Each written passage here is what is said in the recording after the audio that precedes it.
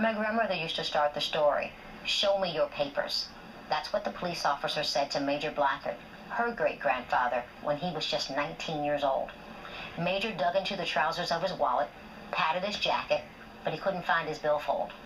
Sir, I done left my wallet, he said.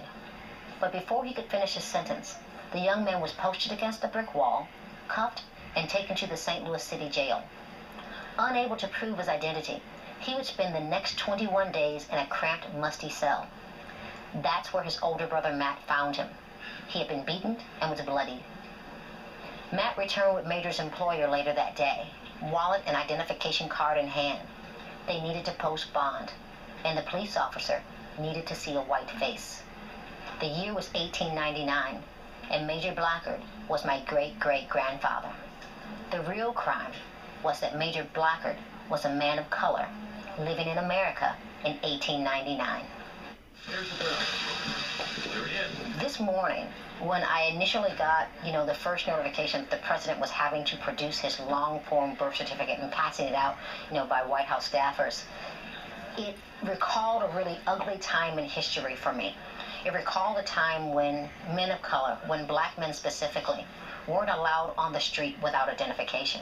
And here we are with a president of these United States, duly elected by the people of this America.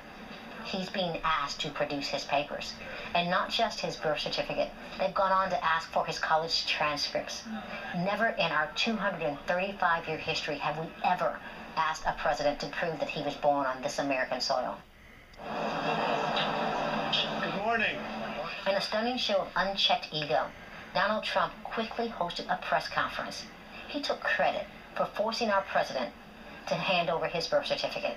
The sometime real estate developer, socialite, author, and television personality went on to caution onlookers to let the experts examine the documents as if the president were perpetrating a fraud. Trump didn't even want just the birth certificate. He wanted the president to release his college transcripts. His implication is that Barack Obama was the beneficiary of affirmative action and that he took the place of a more qualified white student. Apparently, graduating magna cum laude from the nation's most prestigious law school and being named editor of the Harvard Law Review, the institution's highest student honor, is just not enough for Trump. But you see, for people like Trump, it never is enough. If he gets on the phone or gets off his uh, basketball court or whatever he's doing at the time. I mean, he should be focused on OPEC and getting those prices down.